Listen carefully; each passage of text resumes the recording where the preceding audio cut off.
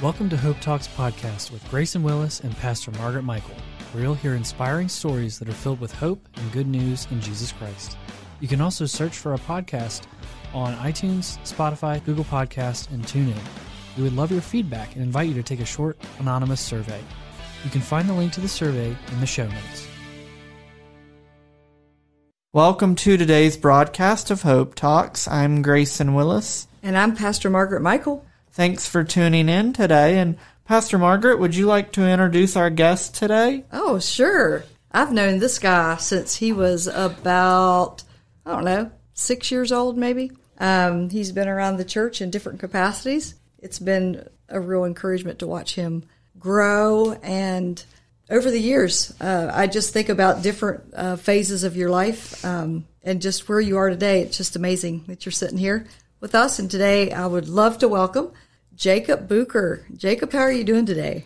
Doing pretty good. Yeah, it's good to have you here. Um, my first recollections of you are when we had Kids Harbor years ago. Started out in the Wesley kitchen right off of the side of the sanctuary before we added on the second phase of our building. And um, so, welcome. We are excited today to hear your story, um, testimony of what God's doing in your life. And I really believe that those listening today are going to um, find hope in your story because Jesus uh, showed up in your story, and that always yeah. brings hope, don't it? Yeah. Um, and so, if you want to just start out today, tell us a little bit about how you grew up. You know, I know that your story had an interesting beginning, right?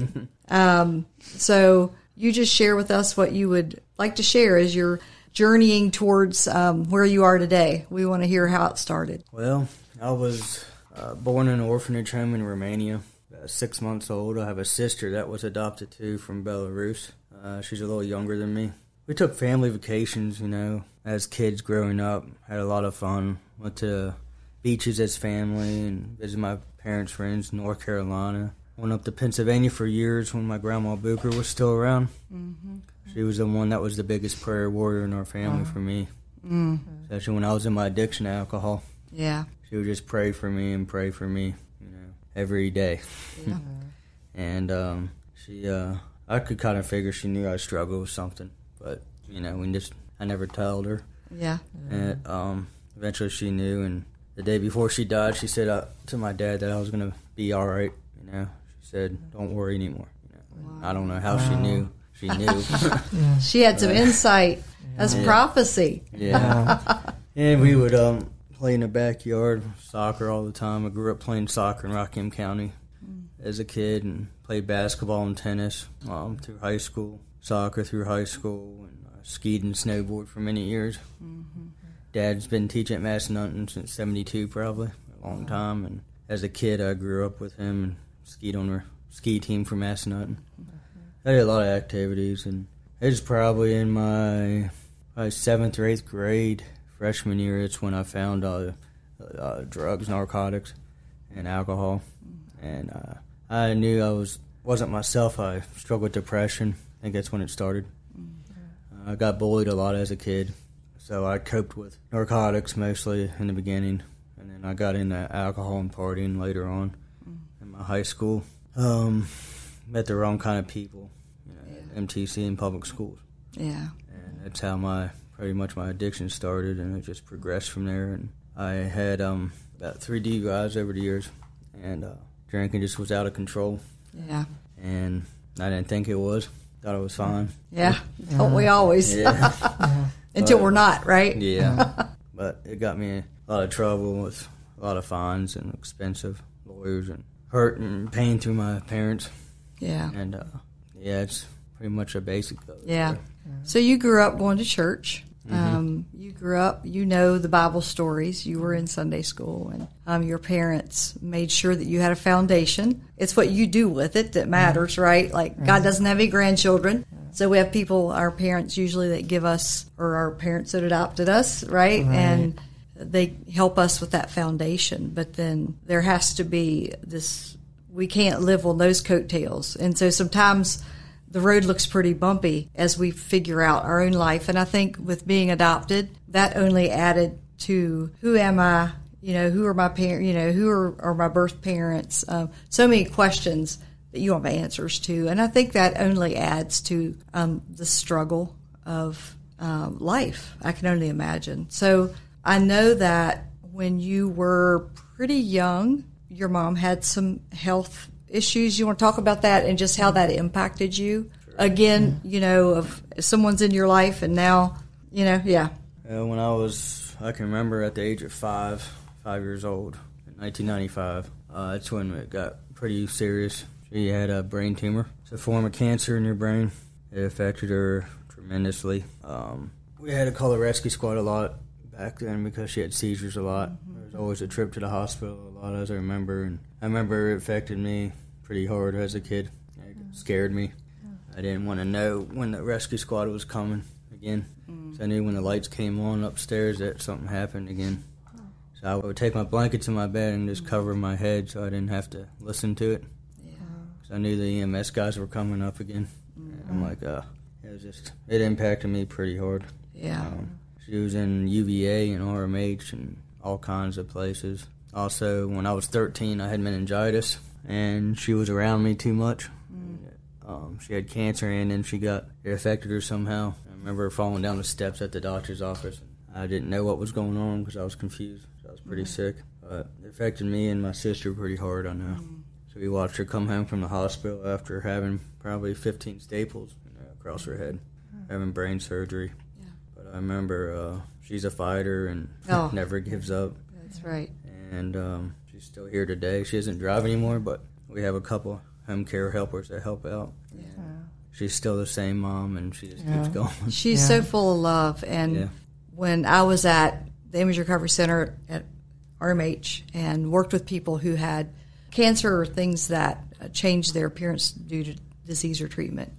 And she was also, I, I met her there, but also met her as a volunteer at the hospital. And so I've known your mom as long as I've known you. Um, and I remember those events that you just talked about. And it takes me back um, to where the tapestry of our lives were already beginning to overlap. And um, your mom has a real special place in my heart. I just have to say that today. Um, and she is a fighter, but she's taught you how to fight. You've learned that from her. And so I didn't want to miss being able to say that to you today. The profound impact that having her as your mom and your dad as your dad, um, I believe they were the right people. Um, And so grateful for those folks that say yes to someone that needs a home. Anyway, Yeah, kind of feeding off of what Pastor Margaret was saying about how your parents, if you want to share about the impact that they've had on your life, they adopted you, but it goes beyond that. Just the support during the struggles that you've had. Right. All right. Um, especially when I was getting in trouble. First kind of trouble I got was probably, was probably 19. It was my first time going in uh, uh, to the, I always called it the Rotten Hotel, into jail.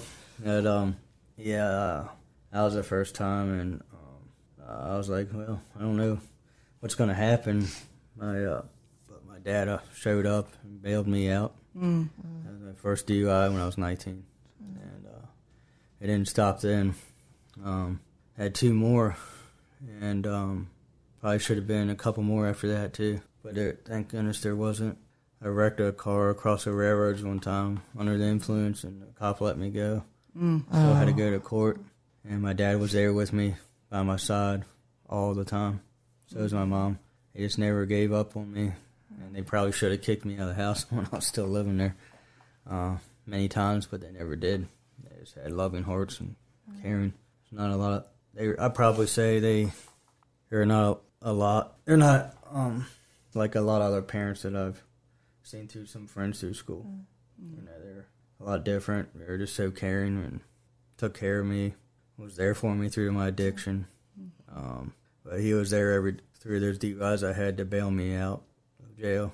I made sure the last time I got bailed out that I was going to keep my nose clean, yeah, you know, so he could get his money back. yeah. And uh-huh. that um, apparently I stayed clean ever since that day. And it's been a, a long time. Yeah. Uh-huh. Yeah, it's good. We're going to hear about that here in a little bit. But there was one event that you had that you've talked to me about over the years, and it was a positive event as a kid. Mm-hmm. And there's some people listening that are going, I remember when we did that, Faith Ranch. Oh. Can you share a little bit about the highlight that was in your life? You were going to Kids Harbor here, and you got invited to go with, I think, Heidi Dove Oh yeah. um, to Faith Ranch, which was a horse ranch somewhere in Ohio, I believe. And I know that that impacted you um, powerfully. Tell us a little bit about that. In fact, I can remember some people years ago, like Leighton Schaefer. Mm-hmm. Uh, she was there, and um, like you said, uh, Kim Adams was there, and um, and my dad drove one of the vans down for us. And uh, I remember one day it rained really hard there, and uh, he hit the puddle as fast as he could, and we loved it, and we got all muddy, falling in the mud puddles and everything. it was a lot of fun, and uh, a lot of fun riding horses. I me- even remember my horse's name still today. It's Coco, and it was a pretty horse, and rode the trails, and we all liked when they ran back to the barn because they knew what they were getting. So at the end of the ride, you know, they just sprint back to the barn.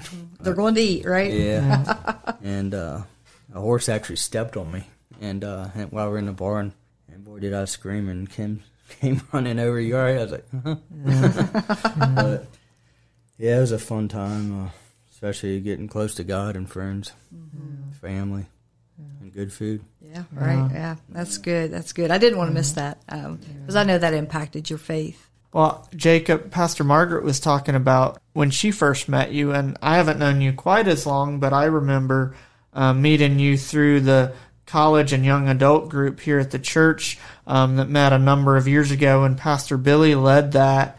And we met here at the church, and uh, actually, we were talking a little bit about that um, when you first came today, um, because uh, your dad stopped by uh, to wish you good luck today as you're sharing your testimony. And you asked if I had ever met your dad, and I was like, well, there was a number of years ago when the young adult group was meeting, and uh, we one summer, one night, uh, your parents invited the group over and had food and stuff out in their backyard, and so I just remember. Um, that group and being a part of that and you being a part of that and uh, so just anything you know that you want to share whether it's things like faith ranch that pastor margaret mentioned being at kids harbor being in the young adult group just different things that you can look back on your life that had an impact maybe you didn't realize it at the time but maybe you realize it now yeah, I can remember a lot of things in this church. I was 15 years old, probably. That's when I first started coming on Wednesday nights. Like today, mm. tonight we would have youth group. Pastor Billy, and by the way, he was just amazing at that. Always liked mm. being around him. He's done a lot for me also in my life. I've known him for almost six years now. He's a mm. good guy. And uh, I remember every Wednesday night we would have the best food and snacks and Kool Aid, I think we had, and mm-hmm. water. and we would worship on um, a young lady named Amanda that would mm-hmm. sing. I always enjoyed listening to her. She was always a really good singer. And uh, that impacted my life, especially the worship and uh, all the sermons that Billy ever spoke there. And that's actually how I met my first girlfriend here through church many years ago. That's great. and um, yeah, it was, uh, I remember also remember Grayson's dad, Pastor Carey. He had a big impact in my life too when I was a kid. Yeah, you can look back and see the people that God placed in your life to just show you His love, and so that is powerful. So, you know, I I don't know. I'm going to guess that when we have um, addiction, there's usually a reason.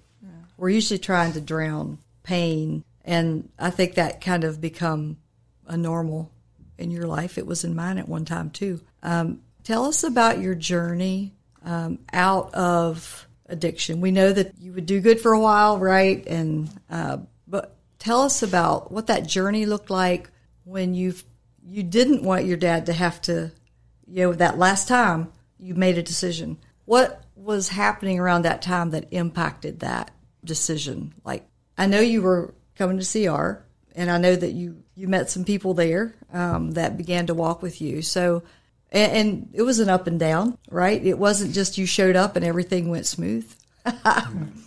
but um, tell us about that journey out of your addiction. Well, there's two Pacific guys I met here when I first started in Celebrate Recovery. It was Nathan Carr and um, Lewis. Those two guys, they really stuck with me through the beginning when I first met them, and still do today. And um, yeah, um, I thought CR was pretty neat. I actually remember when I first started. I didn't even know there was a Celebrate Recovery here. It was uh, Dr. Um, Ron Schubert's group that I started coming to that I heard about. And I was walking out one evening after group and I saw a sign for CR. It was upstairs. I was like, what is that? So I sat in and I actually came up here and sat in it. And uh, I really liked it. I needed help. Yeah. Scared to ask for help. So I started coming and been coming here for many years to CR. But yeah, outside the addiction part was was um I think it was pretty hard because um I do good for a while and then I get real down and that's how relapses happen, obviously.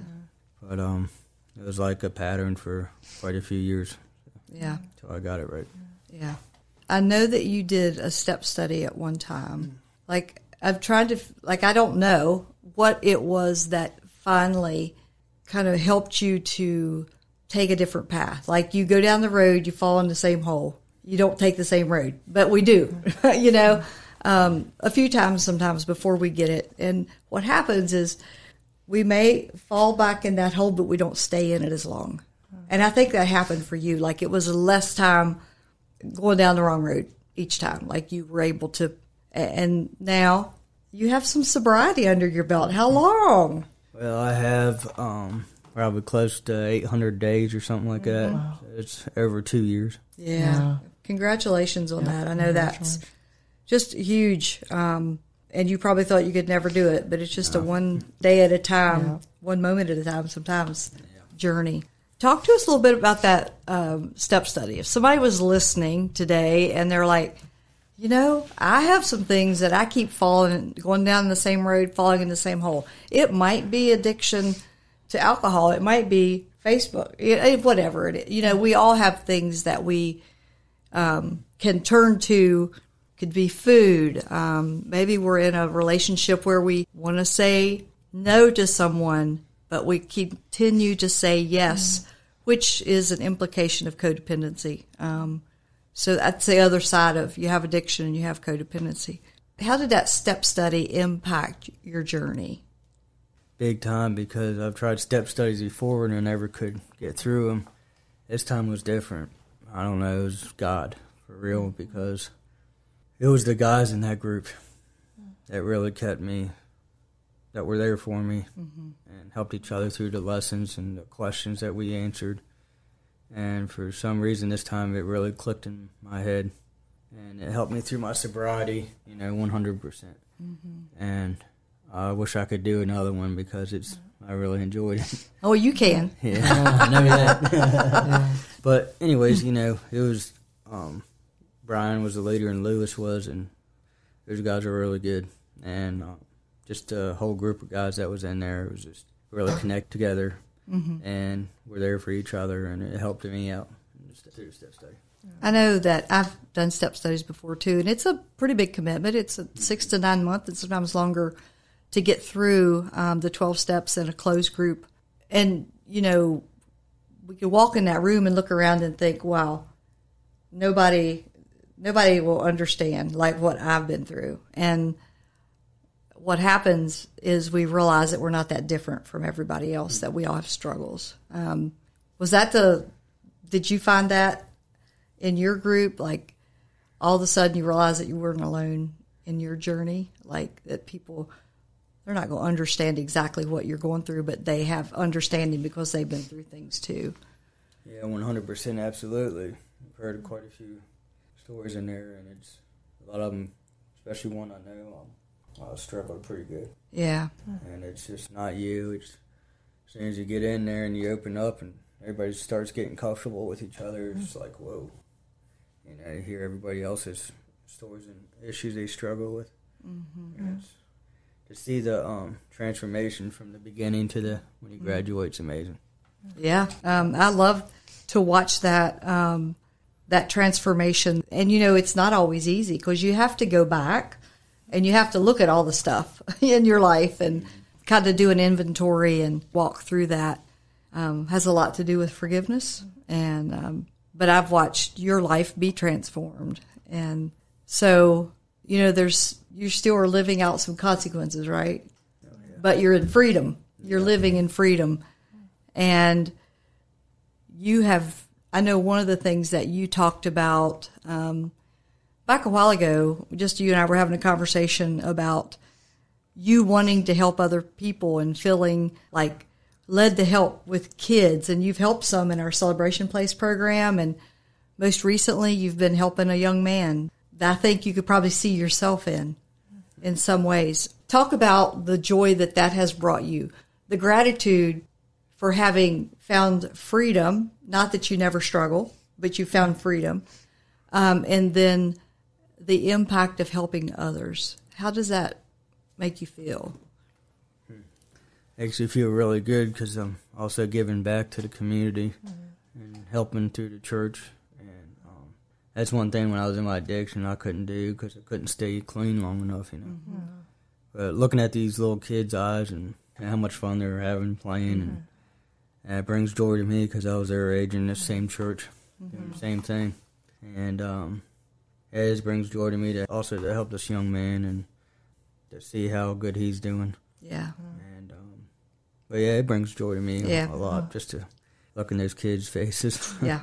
But, yeah. Yeah, that's good. That's and that's the beauty of when God uh, brings that transformation, and I think we we give back just out of a gratitude of what He's done, and so thank you for not just healing and walking away, but to engage in other people's lives. That's powerful. Yeah. If um, there's somebody listening today that they're on their road to recovery, and I don't know how far down that road, but just any encouragement to them, um, you know, just through your experience, um, just to continue to do what they need to do to stay either sober or whatever other issues they might have uh, in their recovery. Uh, yeah. Uh, one first thing was for me when I um, got sober after that last conviction I had was I had to get rid of all my old friends. I couldn't hang out with them anymore. They would just keep dragging me down, and I, that's I stayed relapsing all the time. Second of all is uh, put myself around good people in church that surrounded me, that wanted to help me, actually wanted to be there for me, to help get me sober, and um, yeah, it was probably a hard thing to do for some people, but I just eventually just deleted them and pushed them out of my life. Surrounded myself with good people. So if you don't do that, you're never gonna make it through recovery. Yeah. That's what I learned a lot. So. That's good. And if people um, know of people that are struggling, I know early on you mentioned about your parents supporting you and your grandmother being a huge prayer warrior praying for you. Just talk to the importance of those type of things so that people, if they have people in their lives that are struggling, not to give up on them. Absolutely. My mom was one of those people too. She prayed a lot for me, and I knew worried about me. Um, but she never gave up on me. She just wanted to help and to be there for me, try to support me through my addiction. Same with my father, and uh, especially my grandma Bucher, my grandma Frank. Both of those ladies were really prayer warriors, for real. and um, but you could talk to my grandma Bucher and sit there for, for hours, and she would just listen. and so I was probably the only one. I'd stop down there all the time when I lived up there, just to see her, be with her. And um, but yeah, she never. Both my grandmas never gave up. They always prayed, and um, they just wanted me to do good and stay away from the wrong people. And sometimes I wish they were still here to see what I'm doing, but I know in heaven they know Yeah. Yep. know that I'm doing fine. So. So um, there was in your recovery when you had had a relapse, um, that last relapse, you had a good bit of time under your belt, and we get a chip for um, you know the first months, and then for a year. Um, and those are something that in recovery that are really important to people because it signifies, hey, I made it this far, and now I need to make it to get the next chip. And I remember something that happened that I was so impressed about. And I think it was when you did this, I think I realized just how serious you were about your recovery So you had earned quite a few chips, right? Oh yeah. Uh, you earned all these chips, and when you relapsed, you handed them all back in. I'll never forget that because you needed to earn them again. And that's when I knew that you were serious about your recovery. Yeah. And so I've not said this to you, but every time that you're presented with a chip, there is such a celebration in my heart for you because I see God transforming you and you persevering. Um, and it's not all been easy. It's not been a just a walk in the park, but you keep on through adversity, um, making right choices. And so I just wanted to mention that how powerful that was to see you go, you know what? I've lost the right to these chips. I'm going to earn them back one at a time. So thank you for your perseverance and earning every chip. Hey, you're welcome. That means a lot coming from you. Jacob, uh, I know there's probably a lot, but what right now, um, since we call this program Hope Talks, what right now brings you hope or the most hope in your life? My first things first is uh, my sobriety. Yeah. Every day, uh, in the past, every day I used to get off work in construction, and all those guys would drink all the time in there, and that's all we would do. For a long time now, when I get off work, it's uh, just relax, you know, Yeah. um, eat dinner, and just thank the Lord that I'm sober every day. Yeah. Because I never used to, you know, be able to say that. But second of all, probably um, my parents, and um, definitely my mom and dad. So I'm glad they're still here to see me what I'm doing. Yeah. yeah. So I'll be 33 here shortly, and uh, it's just amazing. You know, I'm just glad I still have both my parents here.